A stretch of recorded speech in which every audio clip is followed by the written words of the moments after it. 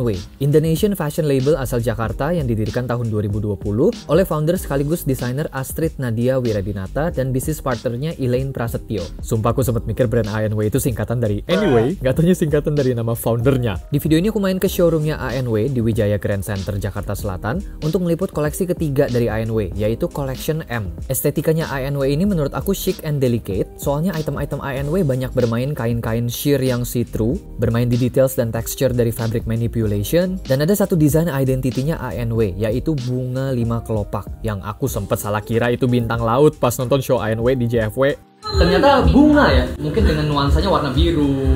Iya. Jadi Bisa. langsung kepikir tuh sih. Bisa bisa. Kan kalau orang sih. lihat lukisan kayak terserah beda-beda kan mikirnya. Betul. Kita tuh mau baju kita tuh jadi kayak artwork gitu loh. Kalau misalnya ada lukisan itu kan orang zaman dulu kayak ngecap kan. Mhm. Dia ngecap nama inisialnya. Nah Mhm. terus tuh makanya logo ANW itu kayak gini, kayak cap. Dan di baju kita tuh semuanya dicap seperti ini. Jadi kayak ini cuma buat Oh. brandingan kita. Iya, iya, kayak ini artworknya, ini capnya yang bikin Oke. siapa gitu. Subtle sih. Satu, Satu, ya lumayan warnanya satu ya. kesesuaian sih. Lu udah lihat kan? udah udah udah Terus nggak Nggak kelihatan. tahu nggak tahu jadi jadi mana. si bunga ini selalu ada dari koleksi-koleksi sebelumnya. ya? Dia pernah keluar di koleksi pertama. Bunga ini selalu kita eksplor sih karena dari awal pun kayak bunga ini tuh ini yang lumayan narik banyak orang gitu. Jadi gitu. identitinya gitu ya. Kayaknya iya iya. Walaupun item-itemnya ANW itu chic, cantik gitu, tapi ternyata Nadia dan Elaine tuh nggak menghususkan ANW sebagai women's wear. Di show JFW kemarinan pun ANW juga pakai both model cewek dan cowok. Ngelihat stylingan JFW kalian tuh memang aimnya kayaknya unisex ya? Aku suka sih kayak yang pakai ANW tuh sebenarnya boleh siapa aja mau tua muda Mhm. gendernya apa aja kayak berapapun apa apa Berber anyone ya? Iya suka banget malah kalau ngelihat kayak cowok kan kalau di sini mungkin kalau yang nggak di fashion ya Mhm. kayak belum berani lah pakai sesuatu yang feminin soalnya kalau Mhm. dilihat tuh biasa tuh pasti kayak merasa ini baju cewek baju cewek Yap, gitu yap. tapi Mhm. Tapi enggak sebenarnya kayak cowok-cowok yang pakai juga akhirnya kayak ya udah bagus aja nggak terlalu oke-oke aja, feminin fine-fine aja Nggak ya? feminin. kita ngeliat cowok pakai nggak feminin Nggak feminin ya?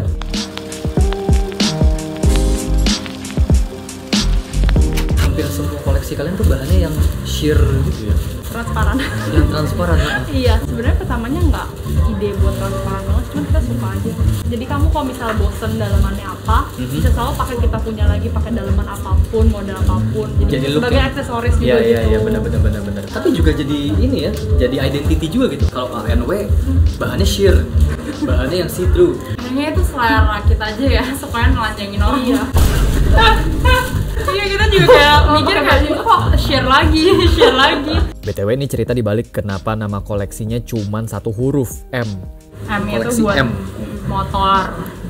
Motor Iya, merah, mama. Mama. Pokoknya banyak Mamanya deh. dia Kita Mary. sampai bingung mau namain apa. Jadi M aja. Motor. M tuh itu mamanya Nadia Mhm. di Bangka gedenya Mhm. naik motor merah nama dia Mary kebetulan juga Oh bener-bener M semua ya? iya Pokoknya motor dia tuh salah satunya merah di Bangka. Dia kan lumayan udah lama banget ya di Bangka. Habis itu kayak Nyantrik ya?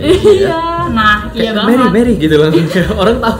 Iya, Iya, kalau dia sih? parkir di mana kayak Motor Mary nih. gitu. iya Yang motor merah jangan sampai lepas. Yang baju merah jangan sampai lepas. Kenapa sih koleksi M ini mau miring-miring? Jadi selama aku research buat collection ini, itu kayak naik mobil tuh aku ngeliatin Oh motor-motor sorry, gitu. apakah M juga miring?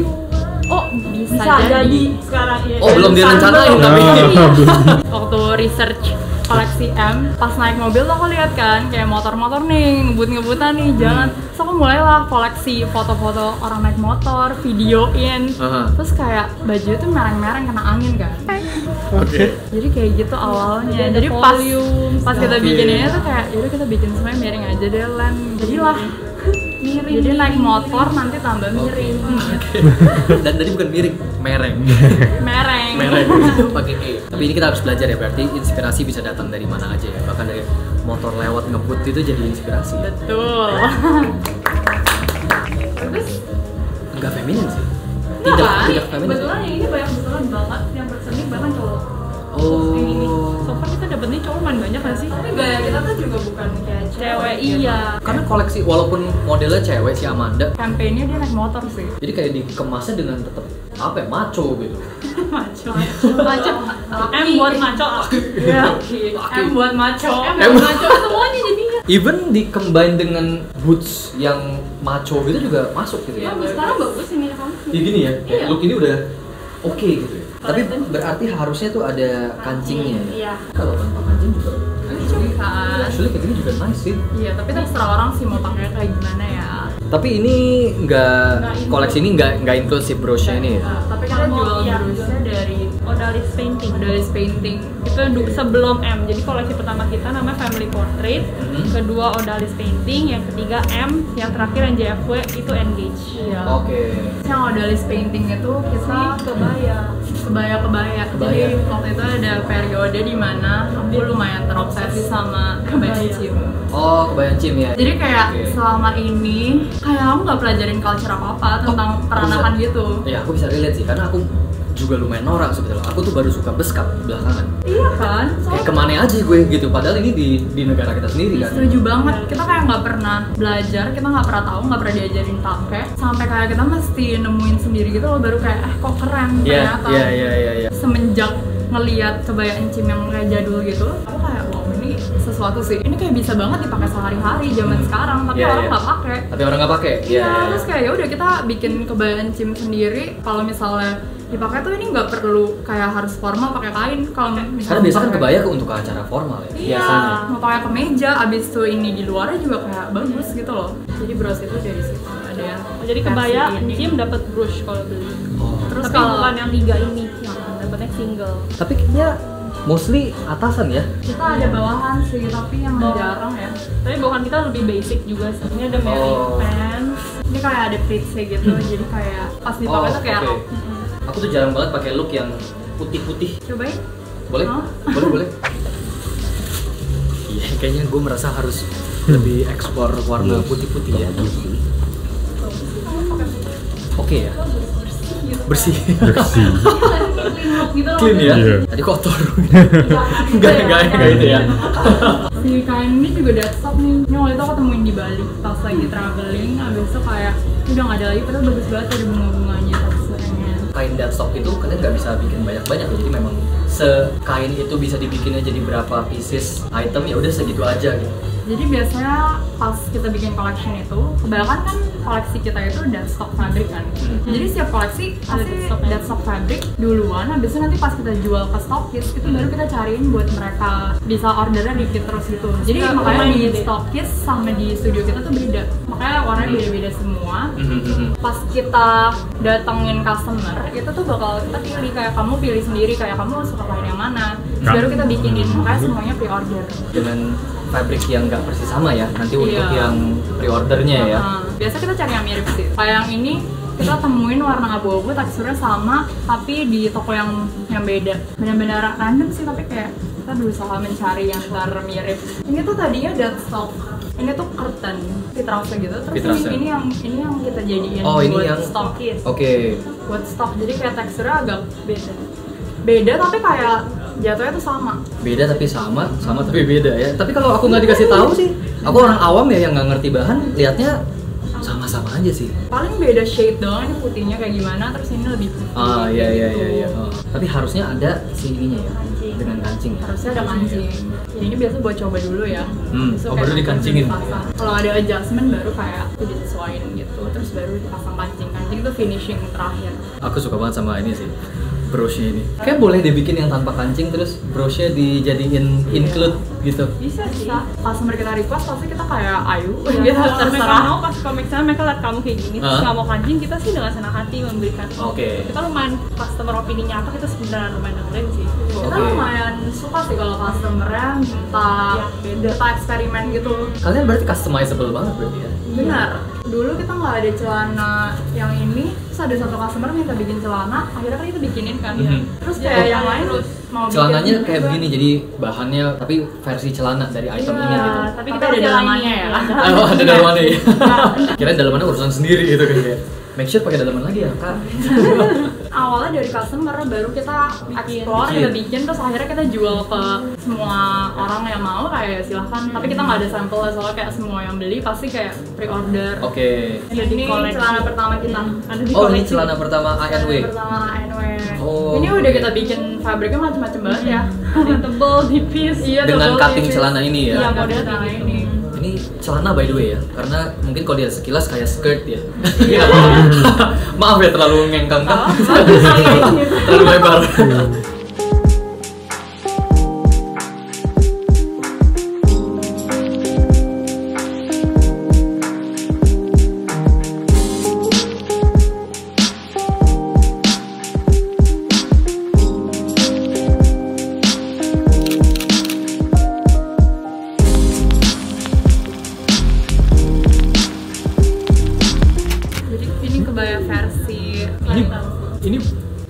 Banget sih gitu sih. Ini keren loh. Keren, keren banget yang ini. Coba aku boleh terawang lebih dekat. kacana kali ya Nah, ini bagus banget by the way. Yeay. Bagus bagus. Ini 5 jempol. lima jempol Iya. ada berapa maksimal Udah lewat udah pinjem orang punya jempol nih. apa dalamnya ini ya Iya, mau ada. bener gue pikirin dulu Abrakadabra. Oh, oke yuk. Agak kemudian tapi masih oke ya.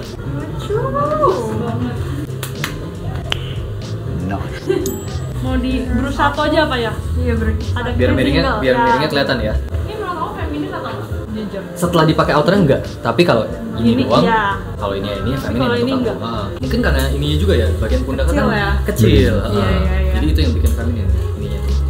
tapi dibuka juga bagus sih mungkin kayak kalau kayak gini tuh kamu kayak formal banget kayak mungkin karena selop Jawa juga ya jadi kayak pengantin Jawa nggak Pengantin? Jawa ya. tapi enggak tapi kayak ya lumayan Tapi pengantin Jawa tapi enggak.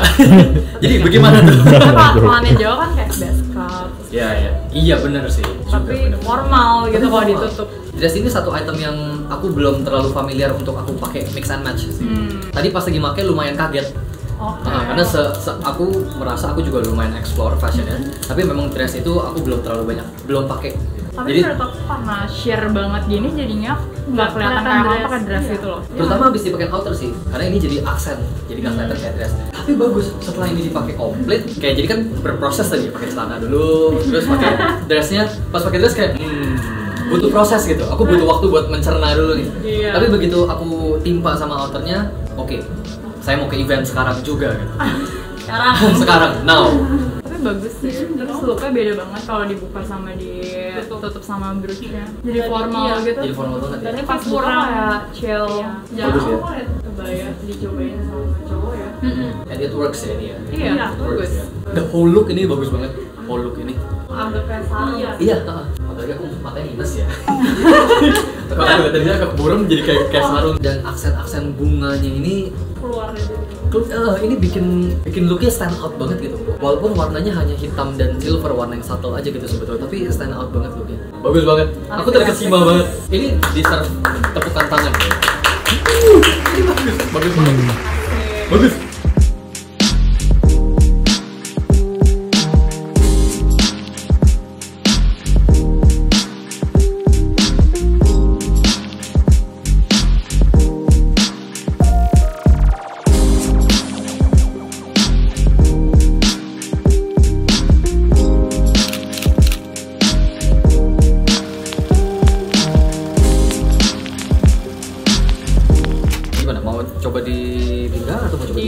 Kalung dulu Kalung dulu? habis itu dipindah Oke.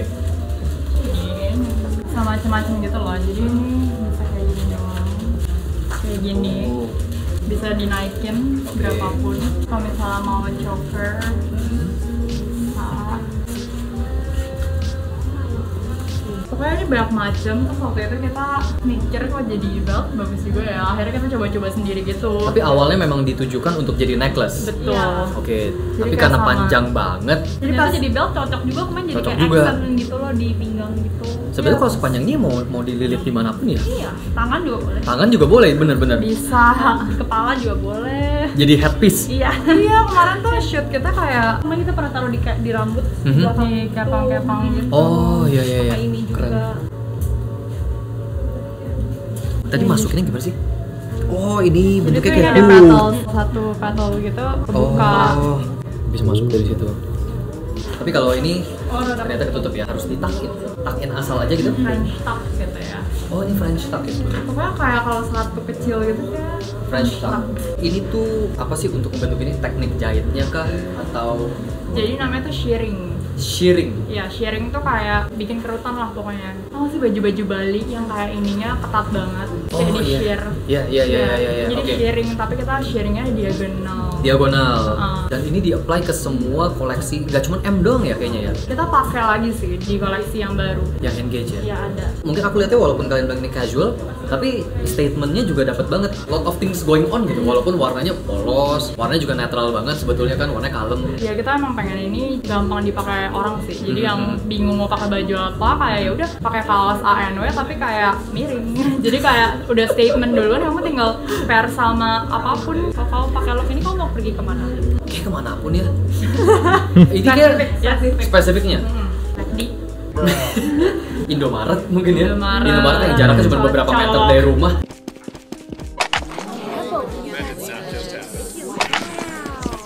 Karena look ini. Look ini nggak terlalu over buat dipakai di rumah, tapi nggak underdress buat dipakai keluar. Ini oke banget sih. Hmm. Enggak sih, ini nggak casual. Ini aneh sih look ini sih. Sebenarnya look ini aneh sih di- dipikir-pikir.